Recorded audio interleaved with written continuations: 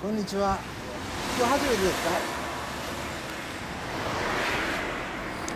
どうぞ店の中にねヘルメットかけるスペースありますんでどうぞ持って入ってください。はじめましてマカのさんはじめましてです。今日どこから？名古屋から。名古屋から。お疲れです。今日は和歌山とかねこちらの方の愛知をかけてます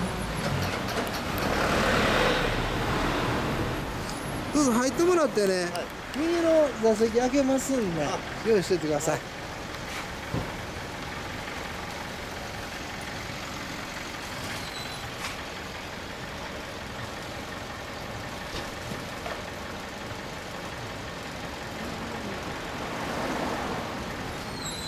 ありがとうございます。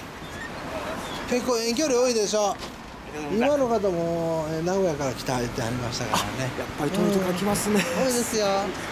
昨日の札幌には驚きましたけどね。はい。すみませんエンジンを聞かせてもらえますか？